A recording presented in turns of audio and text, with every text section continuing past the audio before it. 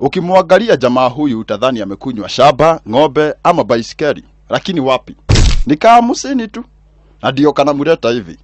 Kinywaji alichobobea kinatambulika kama Yokozuna grade 1. Side effects ni kama mnavyoona, inaleta hamu ya kuogelea na uzembe wa kutembea.